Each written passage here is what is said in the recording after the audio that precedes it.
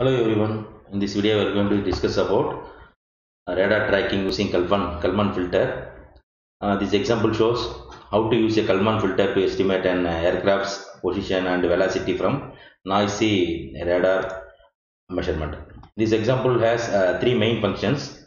Uh, first one is uh, it generates air, aircraft position, velocity, acceleration in polar coordinates, and also it adds measurement noise to simulate inaccurate readings by the sensor and it uses a Kalman filter to estimate position and velocity from the noisy environment.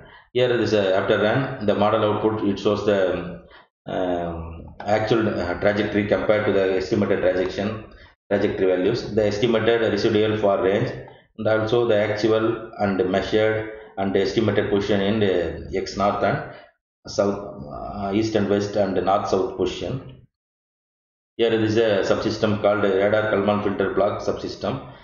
Uh, the subsystem estimate uh, estimate the aircraft position and velocity uh, is velocity performed by the uh, subsystem.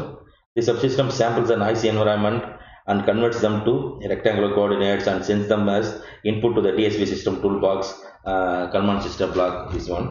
This Kalman filter blocks produces two outputs uh, in, the, in this application. The first is an estimation of actual position, and the second uh, from Kalman fil- filter block estimate the state of the aircraft. Uh, for example, first in, uh, experiment is increasing the measurement of noise, and the second one is uh, my measurement of noise covariance parameters.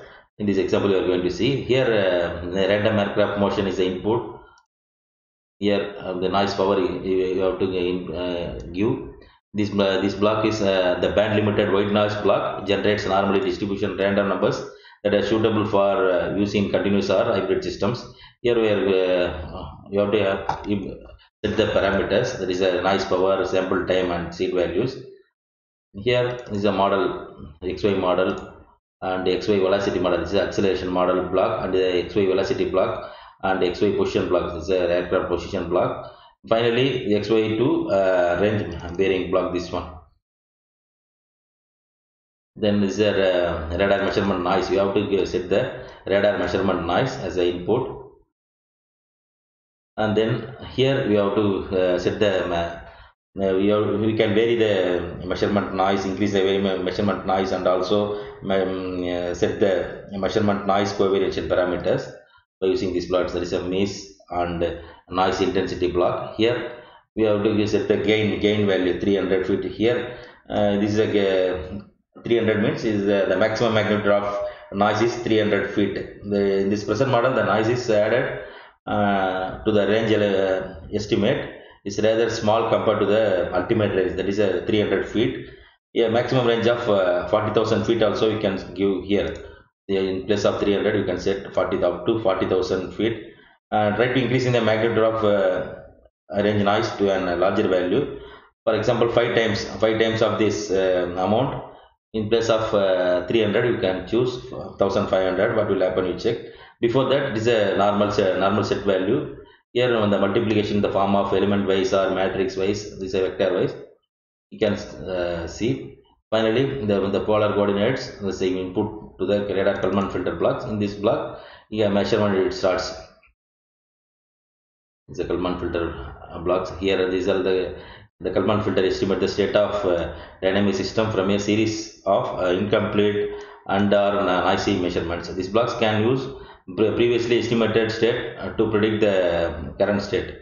It also uh, use the current measurement and the predicted state, predicted state to the estimate the current state's values. These are the parameters you have to set. Number of filters one. Here enable filters always in the you have to select these blocks here initial condition for a estimate uh, state these are the default parameter.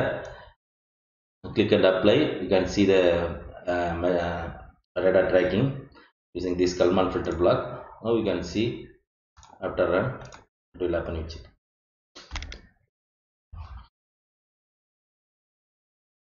Uh, previously we set the values about 300 radar tracking. Here uh, these are you can observe the blue lines uh, representing the estimated positions have moved fa- farther from the red lines. Here we have, these are red lines it shows. Um, red lines representing the actual positions. And the curves have become much more uh, bumping and jagged here. Uh, try setting the measurement coefficient parameters. Now you can see the measurement coefficient or uh, the increase the gain. What will happen you check? 1500 feet click and apply. Now you can see the variation in uh, graph. This one. Here also uh, east west portion and north south portion is a estimated distributed range also there. Here uh, actual tra trajectory is a red red line and the estimated uh, tra trajectory values in uh, green line. And also here uh, we can observe that when the measurement noise estimate is better the east west and uh, north portion estimates curves become smoother here. The north north and south position curves consistently under, underestimate the position. Then next you can see the uh, variance variance measurement.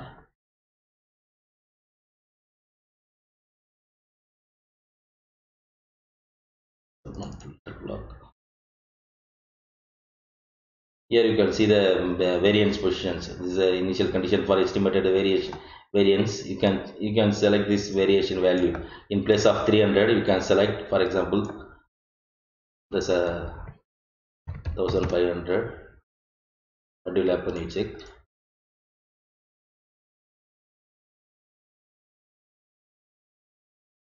here you, you can see the differentiation for these are actual versus your mean uh, mean mean covariance uh, measurement of noise covariance parameter value and estimation here um, given the given, given example shows how noisy the um, uh, measurement are compared to the values of uh, ns that is a north south position coordinates. This is um, is estimated.